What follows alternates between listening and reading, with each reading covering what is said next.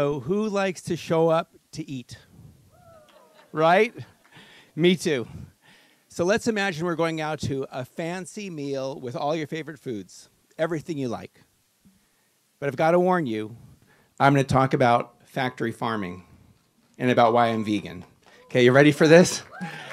Um, so, you should know I'm a lot like you. I grew up eating meat, dairy, and eggs like everyone I knew, and perhaps like you do now. I didn't think very much about it. But then I learned what happens to animals in our food system, and I was horrified. It all started when my grandmother told me about how veal calves are chained by the neck in crates for their whole lives, unable to move, and I immediately said I would never eat veal.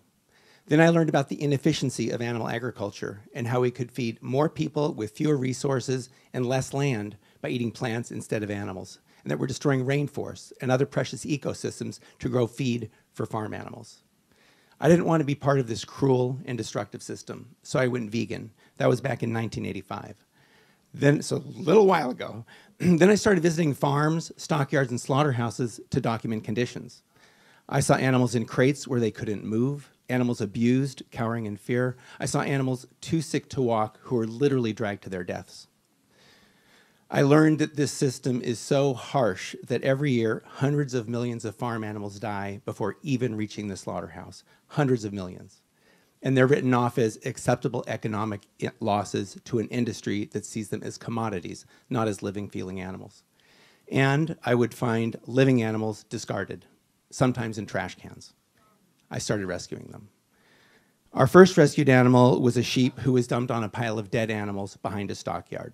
It was a hot, muggy day.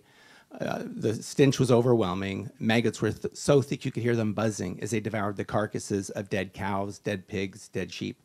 Then off this pile, a sheep lifted her head. She was alive. We were stunned. We rushed her to a veterinarian, thinking she'd have to be euthanized. But as the vet examined her, she perked up and then she stood up. We named her Hilda, and I'm happy to say she survived and lived with us for more than 10 years before dying of old age at the sanctuary, not at a slaughterhouse.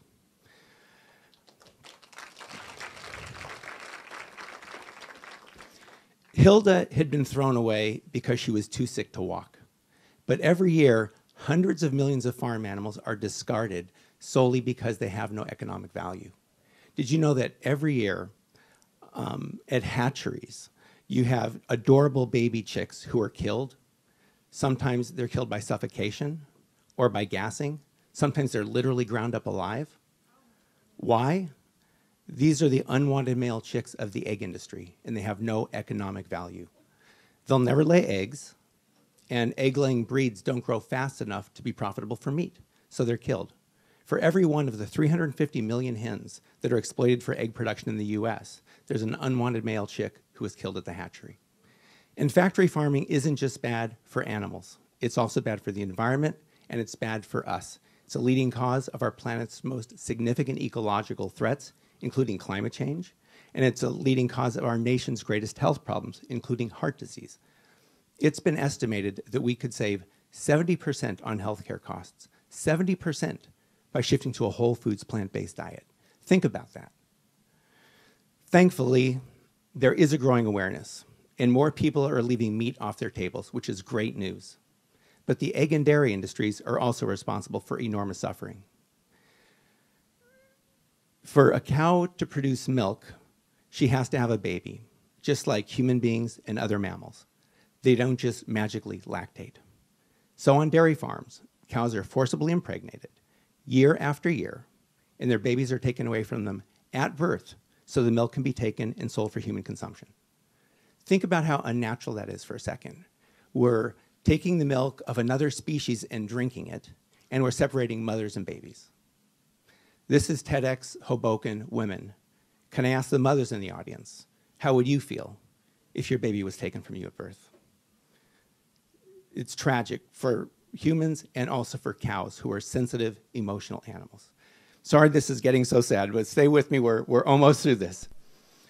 Like other farm animals, Hens in egg production and cows on dairies are pushed beyond their biological limits. Hens produce 10 times more eggs than they would in nature, and cows produce 10 times more milk. Can you imagine the extreme physical demands on their bodies? This causes them to break down. In a healthy environment, hens could live more than 10 years, but in modern production, they're killed after one or two. Dairy cows can live more than 20, but on modern farms, their bodies break down and they're slaughtered for beef after just three years. Exploiting animals for food is an affront to our empathy, an affront to our humanity. And when the topic comes up, too often people say, Don't tell me, I don't want to know. But I don't think that's a good answer. I think it's important for us to make informed choices and to take responsibility for our actions. The good news is that we can each make choices that we can feel good about, that are aligned with our values and aligned with our interests. I think most people would rather not support an industry that causes so much harm. The good news is that we can live well without meat, dairy, or eggs. In fact, we're better off, and so are other animals and the earth.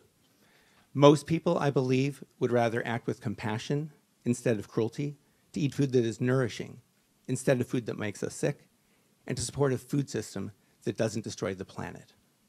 The good news is we can do that. Eating plants instead of animals is the way that we can all make a difference. To me, being vegan is living in a way that is an aspiration to not cause unnecessary harm and to live as kindly as possible. And I think for each of us, that's a choice we can make. Thank you. Thank